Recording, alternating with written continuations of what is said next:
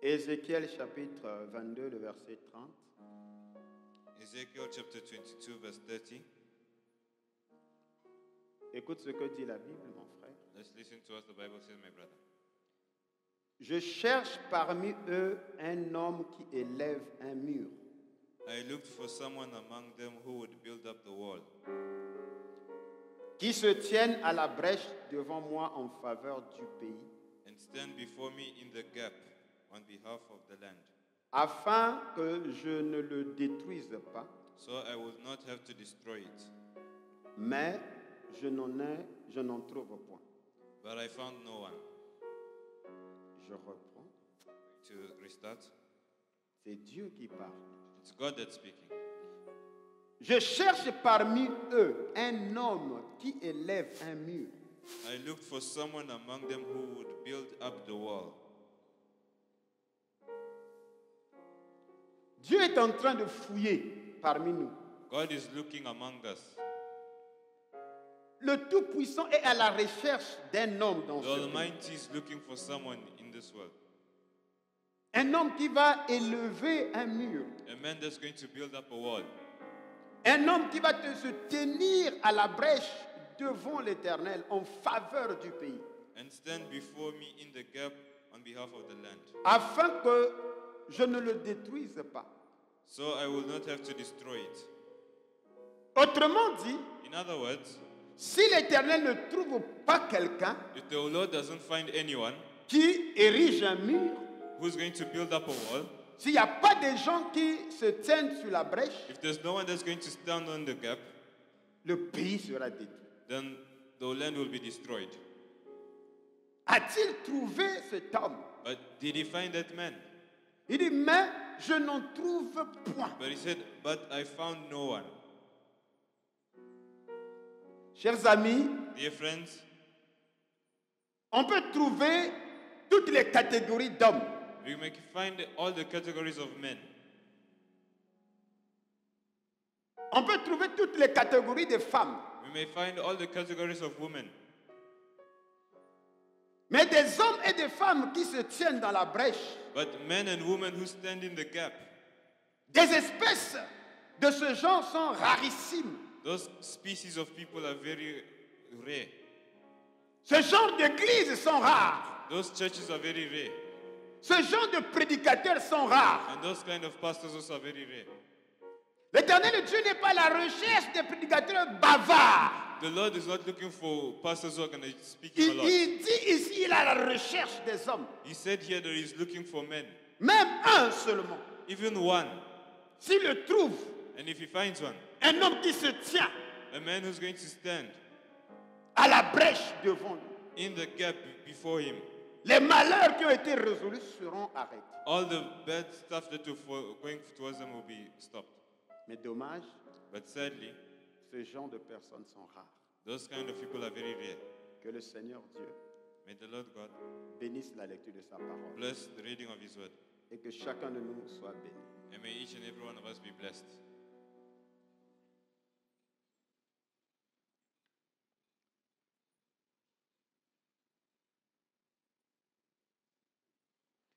Euh, comme vous pouvez le constater, beaucoup de gens As you've realized, many people ont attendu effectivement le développement du thème were for the development of the theme sur euh, le On. leadership, euh, euh, l'apport du leadership africain on the contribution of the African leadership dans la formation du christianisme primitif. in the formation of the primitive Christianity. Et beaucoup ont voulu euh, qu'on s'étale de plus, And the many de plus en plus sur euh, more more des sous-thèmes comme euh, the some themes like les, les pères de l'Église africaine, the fathers of the African church, des sous-thèmes euh, pour aller en profondeur et démontrer que to go deeply inside to show them that l'Égypte est le berceau insoupçonné du christianisme, that Egypt is the unsuspected place of birth of Christianity. Mais vous savez que d'une part, nous avons le don But you know, on one side we have the gift, et d'autre part, nous avons l'esprit. and on the other side we have the spirit. Le don sans l'esprit, A gift without the spirit, euh, ça correspond à une école théologique. it's like a theological school. Parfois, de temps à autre, nous And préparons euh, we prepare avec le with time des thèmes et des sujets, some themes and subjects, mais l'esprit, quand il vient, but when the spirit comes, il oriente différemment. he brings us in another direction. Parce que c'est l'esprit qui connaît la disposition des cœurs. Because it's the spirit that knows the disposition of the hearts. L'esprit sait ce que nous pensons. The spirit knows what we think. L'esprit sait The spirit knows quel est le degré de notre perception? what is the. Voilà pourquoi il est écrit That's why it's written que c'est poussé par le Saint-Esprit que les hommes ont parlé de la part de Dieu. because it's by the Holy Spirit that man started to speak from God. Et euh, la manière dont le Saint-Esprit est en train de conduire ces réunions, And the way the Holy Spirit is busy directing these c'est- une manière extraordinaire. it's very amazing. Amen. Amen. Et je ne sais pas comment il a fait ce virage-là, l'Esprit. And I don't know how did he take that turn, the Spirit, Assurément, le Saint-Esprit a vu dans nos cœurs but surely the Holy Spirit saw in our hearts que toutes ces connaissances que l'on pouvait déverser, that all the knowledge that we could have given, et si on n'est pas encore nettoyé, ces connaissances ne serviraient absolument à if rien. we are not yet clean, then all that knowledge will just be useless. Voilà pourquoi le Seigneur nous a conduits pour nous dire que de préparer la guerre. That's why the Lord has brought us into the direction for us to prepare the war. Et je n'ai pas dit allons-y en guerre. And I did not say let's go to you know, L'esprit est précis, préparer la guerre. the spirit is clear. Prepare the war. Et lorsque l'on prépare la guerre, And when il, you prepare the war, il est nécessaire que l'on calcule les dépenses. calculate our spendings. Et Frère Branham nous a montré que euh, lorsque une armée va en guerre, And Brother Branham showed that once the army goes on war, la première des choses, c'est de sélectionner les guerriers. The first thing they have to do is to select their warriors.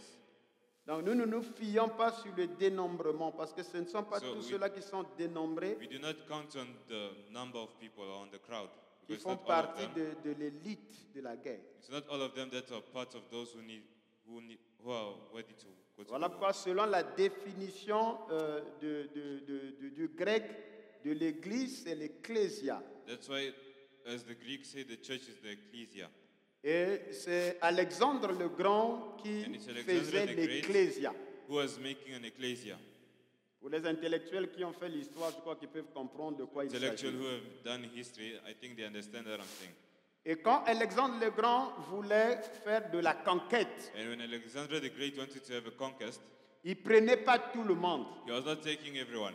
Parce que euh, ce que l'on appelle la politique, It's what we call politics.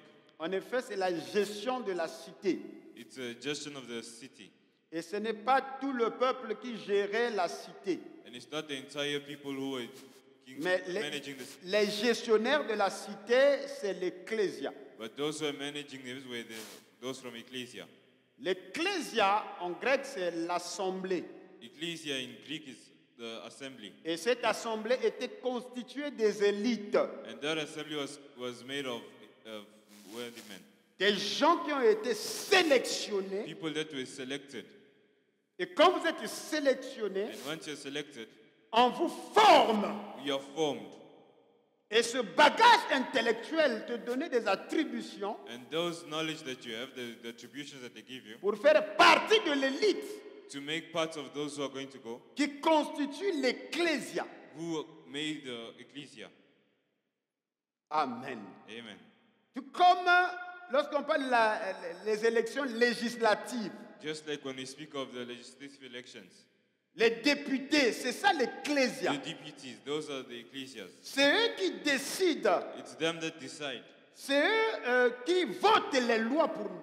There's, it's them that vote the laws for us Parce que nous, avons, nous les avons fait confiance because you trusted in them, qu'ils sont capables that they're capable de gérer to manage la nation. the nation. Dommage, c'est que les chrétiens, Christians, surtout en ce temps-ci, even in the, sont especially in this tombés tellement bas they've fallen so qu'ils pensent que that they think that eux, ils doivent être exclus de l'ecclésia. uh. Comment on s'est retrouvé dans ce genre d'ineptie? But how did you find out in such a situation? de croire qu'un chrétien ne peut pas être député To believe that a Christian cannot be a deputy. Parce que député, c'est fait partie de l'ecclésia. Because being a deputy is meaning that you're part of the ecclesia. Les élus, The elected, ceux qui sont mis à part those who are put away pour gérer la cité. to manage the city. Comment on s'est retrouvé là? How did you find ourselves there? Parce qu'il nous a manqué la définition même des mots. Because we've lacked of, we didn't have the definition of the words.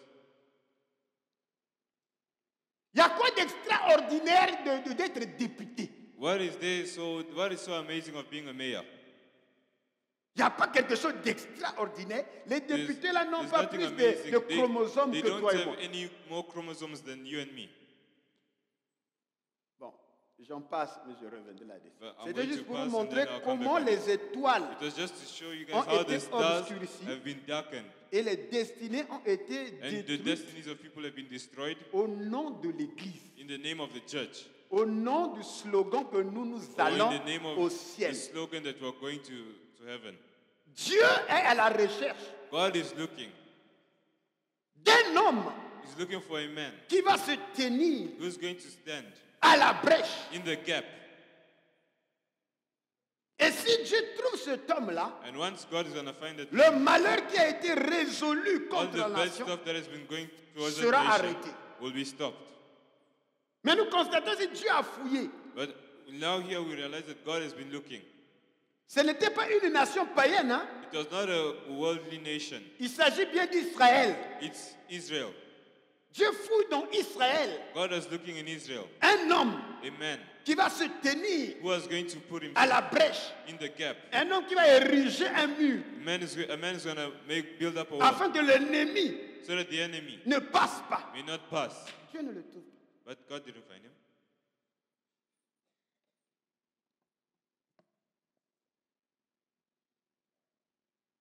Donc, euh, pour qu'il y ait guerre, So for there to have a war, il faut premièrement une sélection. we first need to make a selection. Et l'on sélectionne les capables. And we only select those who are capable. Si tu es sélectionné, c'est que tu as une capacité. If you're selected, meaning you have a capacity. Voilà pourquoi dans le dénombrement, on, on précisait That's why in the crowd they were always les hommes prêts, habiles Men à la who are- guerre. Men who are ready or able to go to war. Et vous allez voir parmi les vaillants guerriers de David, And you'll see that among the, the warriors of David, chacun avait une capacité, each and every one of them had a capacity. chacun avait une vertu, Everyone had a virtue.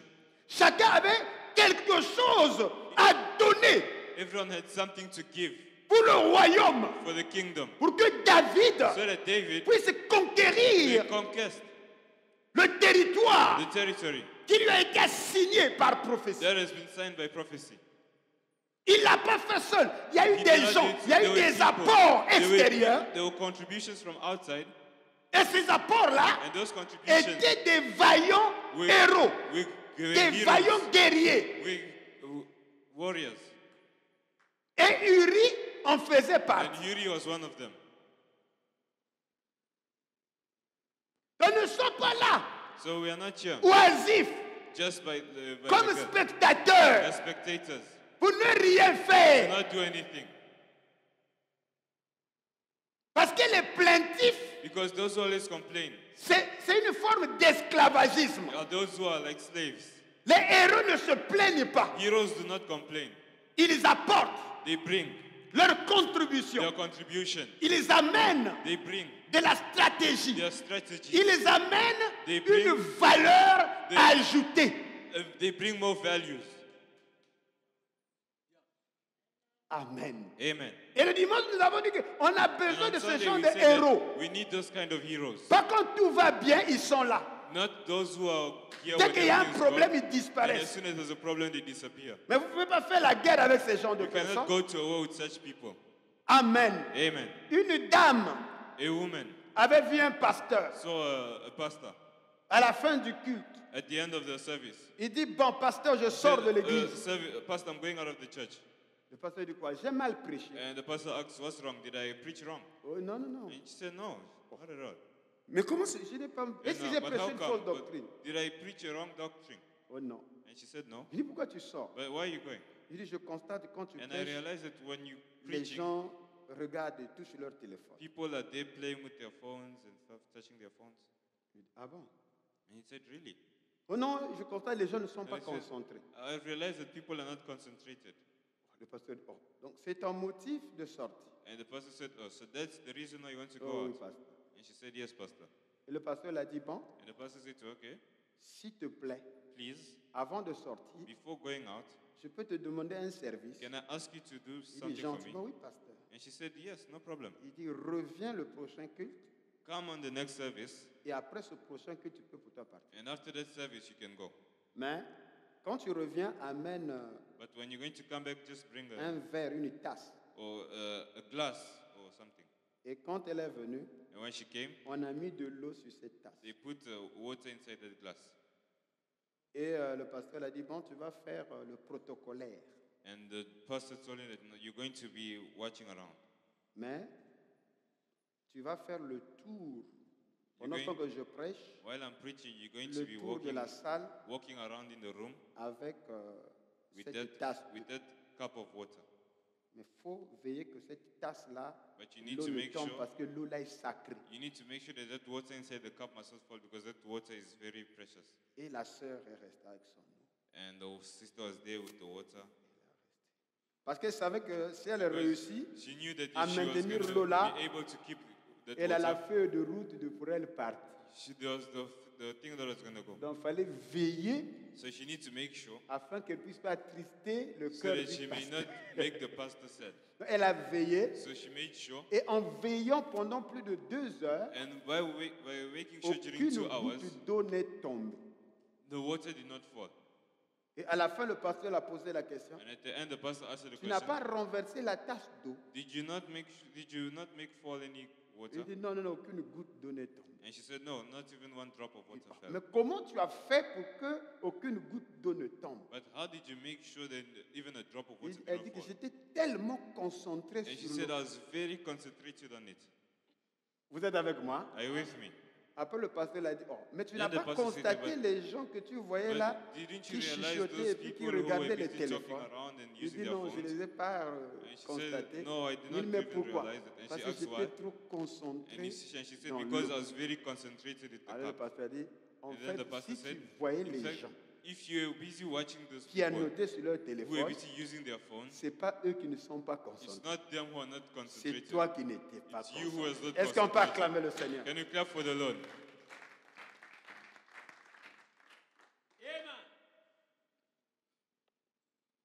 Il faut être un héros pour apporter ta valeur ajoutée. You need to bring, you need to be a hero to bring your, your, your more values, Ta contribution. Contribution. Donc, Frère Madame nous a dit que on les sélectionne d'abord selon leur capacité. we first select them by their capacities, according to their capacities. Et après, on les équipe. And then after that, we're going to occupy them. Il faut équiper ceux-là qui sont We need to sélectionnés. occupy those who are selected. On leur donne des tenues, We give them their uniform ok Des sacs, and bags des, des- des- des chaussures and some big qu'on appelle des rangers. that they call rangers. Et troisièmement, il faut And les thirdly, former. We need to form them. Et une fois qu'on les a formés, frère Branham dit formed, on Branham les says, amène maintenant sur un we terrain. bring them on a, a territory, on a land. Voilà les critères pour préparer une guerre. And that's, those are the things that we need to prepare war. Et le dimanche passé, nous avons compris que selon Exode Sunday, we've 17, understood que l'on uh, ne peut pas gagner la 17, guerre rien qu'en se fiant aux épées. if we just trust in our, on our swords. Que les épées ne sont pas suffisantes And that swords are not enough. parce que beaucoup ont des épées, ont des armes, mais ils ont fini par perdre des guerres. but then at the end they lost their wars. Et nous avons vu que les épées And we've understood that swords, renvoient aussi à nos capacités, uh, they actually show our capacity ça renvoie à nos diplômes. or our diplomas. Amen.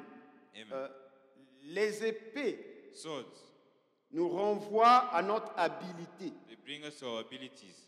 Mais Moïse a établi un lien entre les épées et la position du battant. And Moses uh, put a relation between swords and the position of the sea staff. Et Israël avait de l'avance dans la bataille contre les Madian et les Amalécites And Israel was always winning the war against the Amalekites. lorsque le battant entre les mains de Moïse était Once élevé. the staff that was in the hands of Moses was hi- li- lifted up. Et quand Moïse s'affaiblissait, quand ses mains s'affaiblissaient, And once Moses' hands were getting tired, alors du coup, ceux-là qui étaient dans le combat sur le terrain, eux, ils sentaient aussi qu'il y avait des répercussions. those that are also fighting the war, they're also feeling that they started to be winning. Et nous avons vu que le fait de lever les mains vers le ciel, And we've saw that, we've seen that the fact that the Moses was guiding his ceci hands up, introduit le ministère de l'intercession prophétique. it was bringing the ministry of the prophetic intercession. Et c'est ce qui rejoint Ézéchiel chapitre 22, le verset 30, disant que je suis à la recherche d'un homme qui élève un Uh, mur. Ezekiel chapter 22, verse 30, that brings that where the Lord saying he's looking for a man. Un homme qui se tient à la brèche A man who's going to stand in the gap en faveur du pays. in the, uh, for, the, pa- for the land. C'est un ministère d'intercession. It's a ministry of intercession. Et ce ministère d'intercession pour le salut des nations And this ministry of intercession for the salvation of the nations, va au-delà it goes beyond de l'évangélisation en rapport avec le salut de l'âme. the evangelization of the salvation of the souls.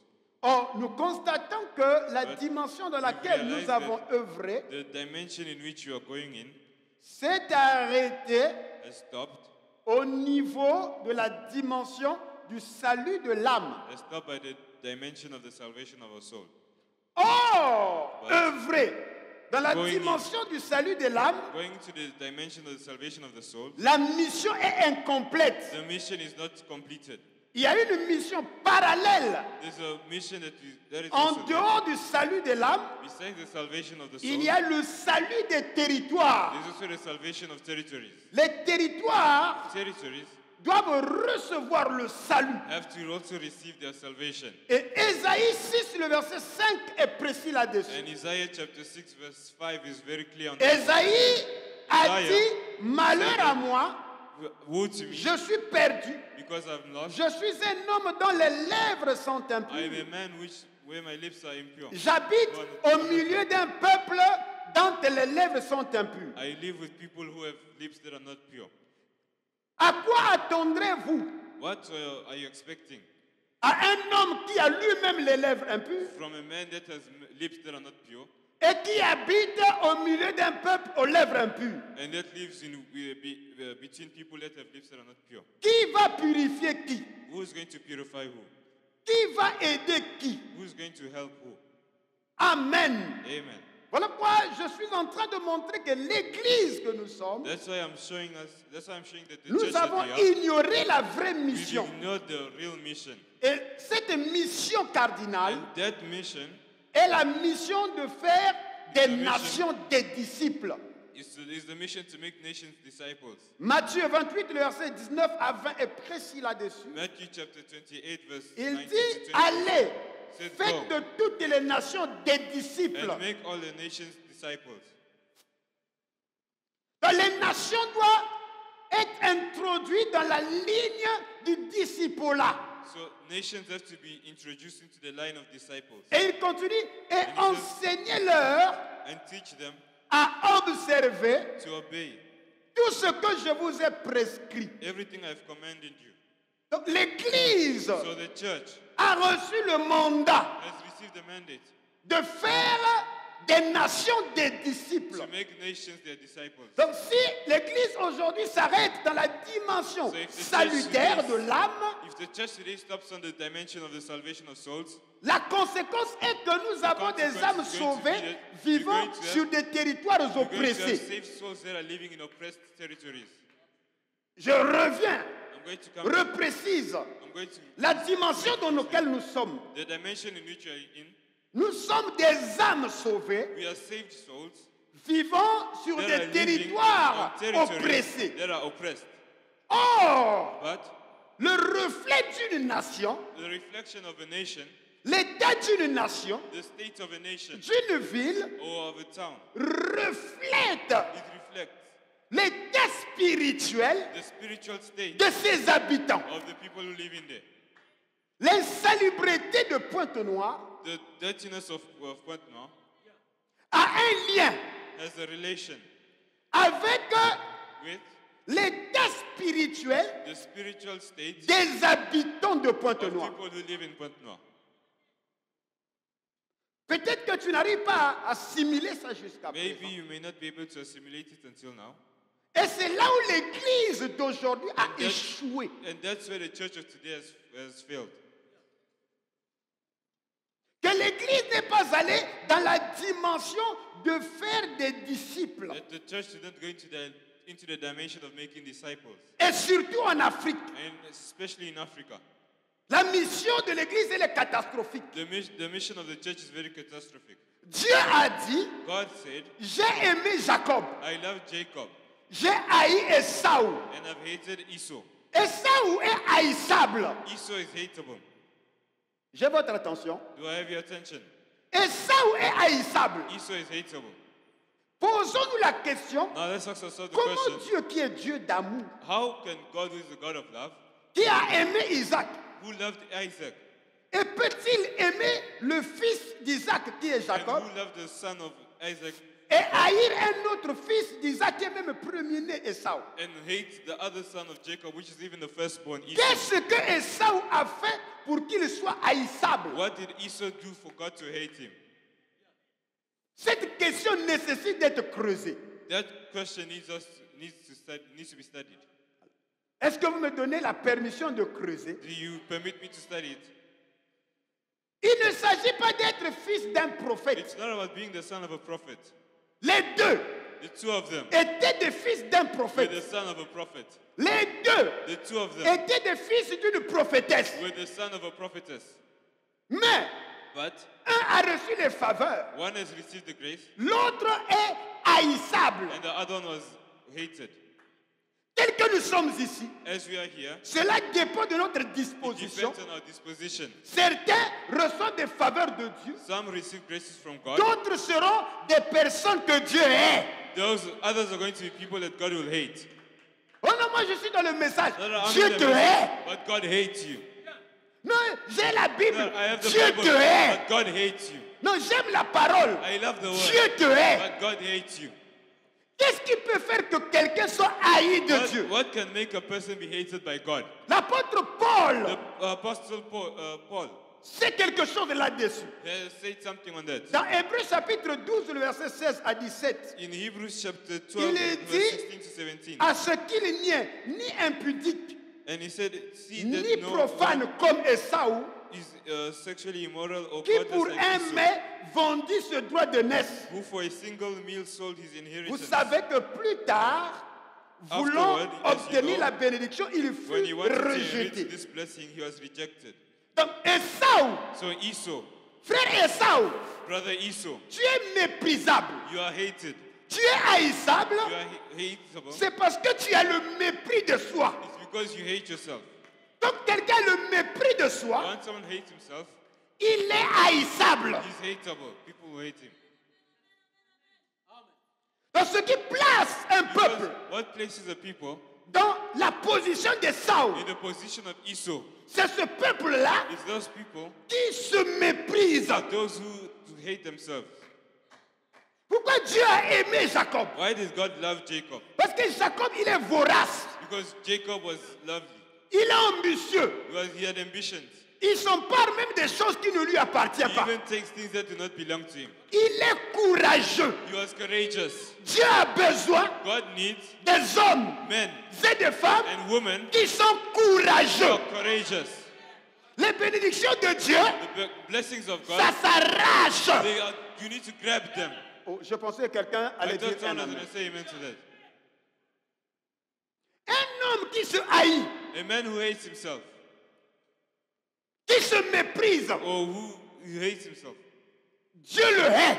God will hate him. C'est la raison pour laquelle Dieu aime les Occidentaux. uh, people from the Occident. Oh, dites Amen. Yeah, say amen. C'est choquant. Dieu aime les shocking. Blancs God loves white people parce qu'ils sont ambitieux. because they have ambitions. Ils ne se méprisent pas. They do not hate themselves. J'ai un livre I have a book en trois volumes intitulé that has three volumes that's L'Église, titled The Church, une esquisse de son histoire pendant 2000 ans. an, ex- an execution of its- itself during 2000 years. Dans ce, ce- ce récit de l'Église, In that uh, book of the church, l'auteur montre que si l'Occident s'est étendu aux quatre coins de la terre, the, Europeans went in the four corners of the earth, parce qu'ils ont mis en valeur deux prophéties. because they put in, val- in value two prophecies. La première, c'est dans The Genèse first one 9, is le verset 27, qui Genesis dit chapter 9, verse 7, which says que, que Dieu étende les possessions de Japheth that God gave the possessions of Japheth et qu'il habite dans des tentes de Sem. and that he lives in the temples of Sem. Et donc, euh, So, l'auteur euh, dévoile que, is, is showing us that que Japheth a la promesse de l'extension. Et cette exten- extension ne devait avoir lieu que s'il habite dans les tentes de Sem. If he was living in the temples of Sem Et habiter dans les tentes de Sem and living in the tents of Shem voulait dire que l'héritage de Sem sera transmis à Japheth. will be transmitted to Japheth. C'est la raison pour laquelle And that's the reason why l'Occident, la race blanche, the white people, qui n'a jamais été there has never been, à la base du concept de la foi ni de la religion, quand la porte selon Romains 11 a été ouverte à ce Once peuple, the doors, according to Romans chapter 11, was open to those people, ils ont fait comme Jacob. they done as Jacob. Vous êtes avec moi? Are you with me? Ils se sont appropriés du They christianisme took Christianity, their Christianity comme leur héritage. as if it was their heritage. On ne va pas continuer à stigmatiser ces We're not gens-là. going to continue Dieu to les aime. stigmatize Oh, je those veux entendre people un amen de la Because salle. God loves those people. Dieu aime God loves des gens qui s'approprient. people who take things, who grab them. Ils s'en ont approprié They grabbed it et ils ont compris que and they understood that la prospérité de la lignée of their line de Japheth par of Javan Japheth by uh, Javan passerait par l'appropriation des tentes de Sem. Et ils ont habité And they lived dans des tentes de Sem. Et c'est ce qui les a menés And that's what brought them à dominer le monde. to dominate the world. Et l'auteur dit ensuite, il y a author says that Acte chapitre There's also 16, Acts chapter 16, le verset 14 à verse 15. 14 to 15. Il s'agit là De Lydie la marchande de pourpre. of Lydia, the, the merchant, Par son acte de générosité. by her act of generosity, Parce que euh, euh, Thyatire because uh, Thyatira, se trouve dans l'actuelle euh, Turquie. which is now in uh, Mais en ce temps-là, c'était des colonies bien sûr romaines. were Rome. Donc c'était les Européens qui So dominaient. dominating. Est-ce que je, je peux avancer? Can I move on? Donc de par les actes de générosité, So suivez-moi attentivement. so the acts of Voilà pourquoi je dis que tant qu'on ne nettoie pas because when I say as long as la clean conscience de tout un chacun de nous, vous serez surpris que un jour devant l'éternel, que vous êtes placé comme parmi les gens que l'éternel hait. you are placed people that God hates. Parce que Dieu est Because God hates des personnes qui se méprisent. people who hate themselves. Dieu a horreur God, God hates des gens qui ne comprennent pas leur mission. people who do not understand their mission. Dieu est God hates des gens people qui ne connaissent pas leurs promesses. who do not even know their promises. Et je pense que l'attitude des Africains maintenant est haïssable au ciel. is very hated in Parce que l'Occident n'a plus que deux écritures dans la Bible. from the Bible. C'est tout ce qu'ils ont trouvé That's pour all eux. found for themselves. Regarde ce que ça produit. And look what it's produced. On se poumonne Just by using à vous lire. to read. Faites cet exercice-là. Just do that exercise. Partout l'on parle de l'Éthiopie, de l'Égypte, il s'agit de vous. Et voyez ce que Dieu promet là-dessus. Ça, ce n'est pas votre problème. That's not your problem. Oh non, nous, ce qui nous us, intéresse, c'est l'âme. Nous, nous, nous irons au ciel. But we're going to go to heaven. Mais vous parlez de quel ciel? of which heaven?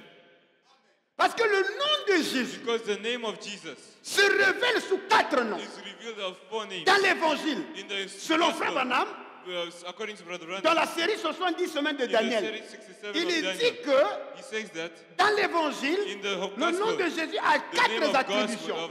Premièrement, il est fils de l'homme. he's the son of man. Deuxièmement, il est fils d'Abraham. Je peux avancer. May I move forward? Troisièmement, Thirdly, il est fils de David. he's the son of David.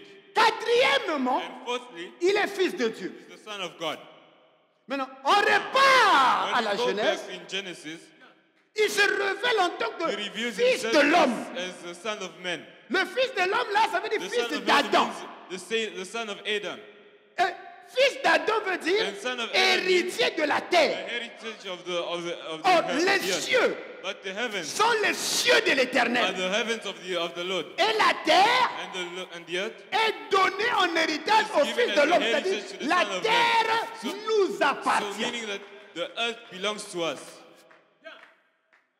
Je t'interdis de fuir au And ciel maintenant. right. Il y a une loi law qui te lie à la terre. that keeps you to Parce qu'il a été dit, tu es tiré de la terre taken from the earth et tu repartiras à la poussière du ciel. To the, s- the sand of the, C'est comme ça? the heavens. No. Tu It's not es that. tiré de la terre, coming from tu the, from the earth repartiras and you go à la back poussière de la to terre. the sand of C'est the la raison pour laquelle That's the reason tu why ne marches pas sur you les not nuages. walk by gliding. Il y a une loi. There's a law. Quand tu marches là, When you're walking, tu es en harmonie in avec la terre with d'où the tu as earth, été tiré. where you've been get, uh, taken from. Et ton développement n'est possible que lorsque la terre t'envoie son bon trésor. Je peux avancer? Donc si tu fais une grève, une scission avec la terre, ça veut dire que tu as signé ton arrêt de mort. Parce que tu te nourris de l'eau que la terre génère. Tu te nourris des plantes of plants qui sortent de la terre. which come from the earth. Et pour que tu vives, And for you to live, il faut que quelque chose soit séparé de la terre.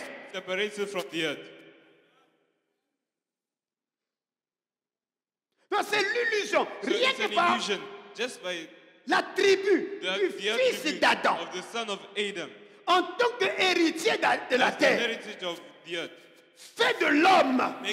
Je ne parle pas d'abord du chrétien. I'm not speaking the firstly of the Christian Parce que c'est ça le problème. because that's the problem. Vous êtes d'abord des humains. You are first humans.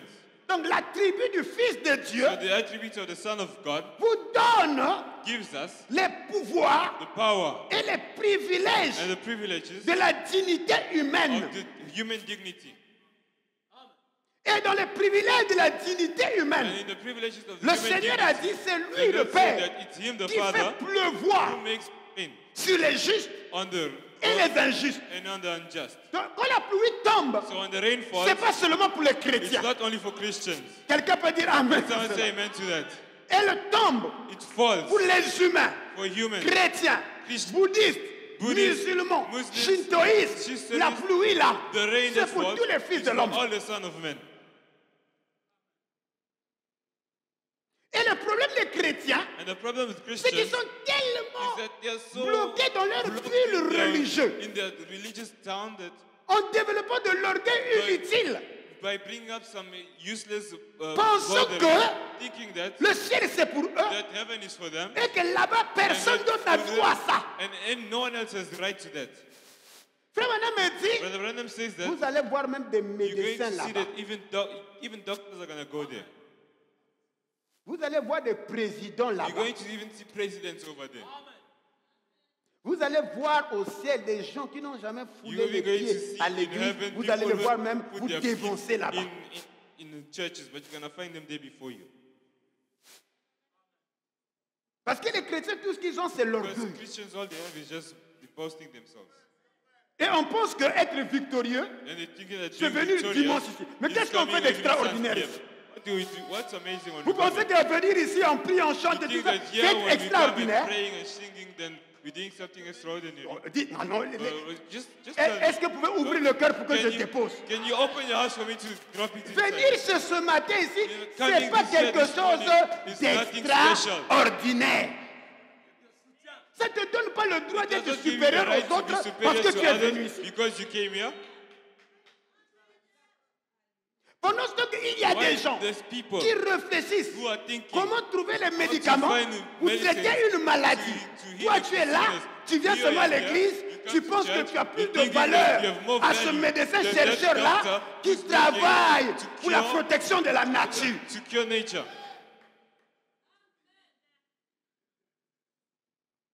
Et ils sont là, non, là. Then- Also, Qui vous a mis ces mots-là Il y a un sorcier qui avait dit ça. Et les autres ont reproduit ça. Pour que l'église, il faut qu'on soigne les gens. A church, we need to be together. Et je suis ici pour le faire. And I'm here to do that. Tu n'es pas plus extraordinaire parce que tu es not more, venu ici ce soir. anyone because Ce you matin. come here this morning. Oublie ça. Forget that. La tribu du fils D'Adam. te donne gives you des prérogatives some prerogatives, d'avoir des to privilèges have some privileges en tant as a human. J'appelle cela la dignité humaine. I call that human dignity. Vous voyez? As you see, La dignité humaine voudrait human que, dignity would like that que tu manges à la sueur de ton front. by the sweating of your head. L'évangile qui te console So the gospel that is consolating you dans la sécheresse, in a dark, in drought, dans la disette, in the, where there's no dans le manque, in the lack, n'est pas l'évangile de Dieu. it's not a gospel from God. Parce que Dieu n'a pas créé l'homme pour man que l'homme soit so dépourvu de quoi man manger. may, may not may lack of something to eat. Parce qu'il y a toute une attribut de lui par rapport à l'humanité en tant que fils d'Adam. Et dans cet attribut en tant que fils d'Adam, et si Dieu t'a placé sur la terre appelée le Congo, uh, Congo, c'est que le Congo n'est pas maudit. Parce que Dieu n'a pas maudit une terre. because God did not La terre appartient à Dieu. Et tout ce que Dieu a placé sur le sol et sous, le sous-sol, il a dit c'est bon. Et il n'a pas dit ça c'est bon pour lui. Il a for dit c'est bon, c'est pour ses enfants. C'est la raison pour laquelle que tu sois chrétien ou Christian païen, or lorsque tu comprends la loi the law de la tribu of the du Fils de l'homme. of the Son of Man. En tant qu'héritier de la terre, the tu peux posséder tout ce dont tu as besoin parce qu'il n'y a aucune entité, no entity, aucune force, there's no force. aucun ensorcellement no, uh, ne peut t'arrêter parce que tu es caché derrière behind une promesse qui est une loi. Oh, je peux entendre un amen? Okay, I want to hear amen? Vous aurez beau poser la You question may say, ask yourself question, pourquoi les païens why prospèrent are people from the world prosper? Et que les chrétiens ne and that prospèrent. Christians do not prosper? Mais les chrétiens ne peuvent pas prospérer Christians cannot parce prosper qu'ils vivent des because interdits. they are living here with no permissions. Ils n'ont que des interdits. They're always blocking themselves, Et surtout en Afrique, especially in Africa. il y a trop d'interdits. There's a lot of uh, no permissions. Chers amis, Dear en Afrique, parler du bien-être à un Africain qui est chrétien, speaking of the c'est vraiment of, un uh, problème. Christian, C'est de te révéler déjà comme étant un prédicateur charnel, You're selon going, eux.